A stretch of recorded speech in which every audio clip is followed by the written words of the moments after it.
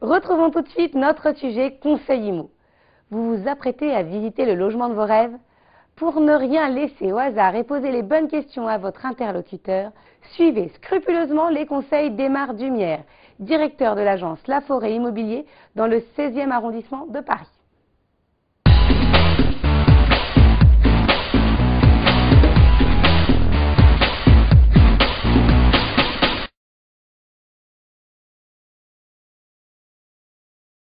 Euh, le premier d'entre eux, c'est de savoir où se situe dans le quartier, dans l'arrondissement, dans le secteur géographique dans lequel vous avez planifié de visiter, le bien immobilier que vous allez visiter. Est-ce qu'il est proche des commerces?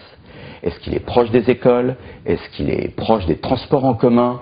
Euh, Sachant que vous serez euh, très probablement amené à utiliser ces transports en commun. Et enfin, est-ce qu'il est proche d'espaces verts? C'est quelque part de vérifier que l'agent immobilier a véritablement un dossier bien renseigné. Et de cela va aussi dépendre euh, la qualité du dialogue que vous allez nouer avec cet agent immobilier.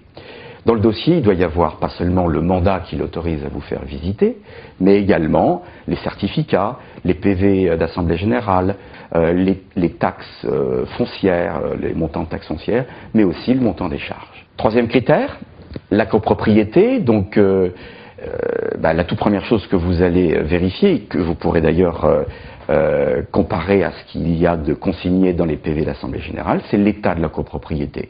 Et puis dernier critère concernant cette copropriété, c'est est-ce qu'elle s'entend bien? Est-ce qu'elle cohabite bien? Alors dernier point, le plus important, euh, concernant le bien immobilier lui-même, l'appartement.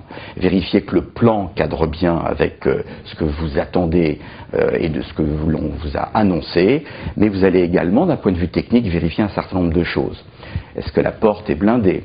Est-ce que les peintures sont en bon état? Est-ce que les sols, que ce soit moquette ou, parquet, sont à refaire? Est-ce que les huisseries sont à refaire?